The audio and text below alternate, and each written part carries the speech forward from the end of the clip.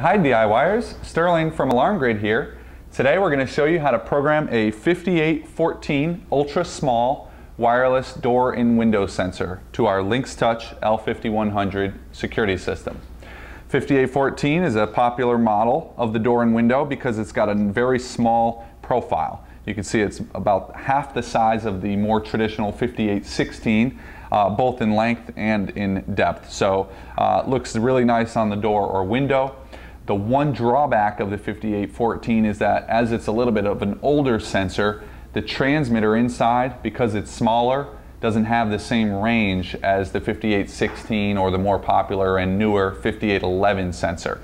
So just keep that in mind, where you get about 200 feet from a sensor back to your panel when it's a 5816 or 5811.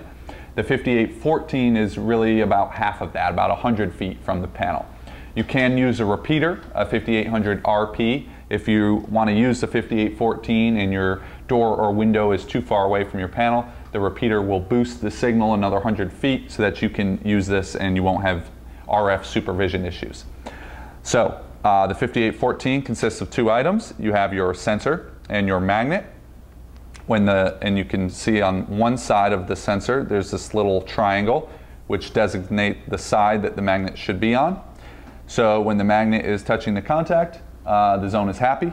When the door window opens, the panel would fault and uh, cause an alarm if it was armed. So obviously it's not learned in now, it's not doing anything, so we're gonna show you now how to program this uh, to learn it into here. So what you do is from the home screen, you hit more. We go into our tools option and we enter our installer code, not our master code, our installer code, default 4112. And then we go into programming. System programming shows at the top, letting you know you're in. And you go to your zones option to learn in a sensor. We're going to scroll to our first available new zone. We're ignoring zone one because that's the hardwired zone. Uh, most people with a Lynx Touch will not use that hardwired zone. You can see that we're not. We do have other wireless sensors, so we use the down arrow to scroll to our first available new zone. We're going to choose zone 14, toggle it, click edit, and we are in our zone programming screen. First thing you want to do when you're in this is to do the serial number. Every Honeywell wireless device has a unique seven digit code which the panel uses to sync this piece with the system. So uh, if you have your sticker, you can simply toggle into here and type it 0442882. You click done. You have to make sure you choose your loop number. The 5814 uses a loop number of one, so we don't need to change it. That's one way to enroll it. If we go back in here and we clear it out and save it back to default, another way to enroll it, let's say you were using a sensor from an old installation or you moved into the house and you upgraded to the Lynx Touch and you wanted to re-enroll your sensors and you already have all this mounted, maybe the sticker's not there anymore, there's a handy auto enroll mode. So to auto enroll, the other handy way to do it, you would open your window with the installed sensor It beeps. Do it again. It'll auto enroll the number, which we can confirm is the right one because our sticker is here. Um, but again, if it's up there and you don't have your sticker, you're confident it's learned in, it's using the sensor, and then one last activation. Saves the information, takes you back to your zone screen. So a nice handy way to go around when you're uh, retrofitting an older system or using sensors that were already installed, Honeywell sensors, um, an easy way to enroll without having to go around and look for all your serial numbers. Now that we've got it learned in, we need to name it. This is going to go in our living room and it's going to be a window. So we can uh, simply type in L. Laundry. Takes us to our available L words. You could scroll down. There's a lot of LA words. So one way to um, skip down to living room Library. is to enter an I. It's a shortcut. It'll jump to the first LI word, and then you use this down arrow. Light. Line. Liquor. Living. Living room. We're going to choose living room. We get to use two words in one by doing that. Click done.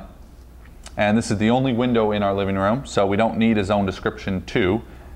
But we do want to choose window for device type. By choosing window, it'll actually speak living room window.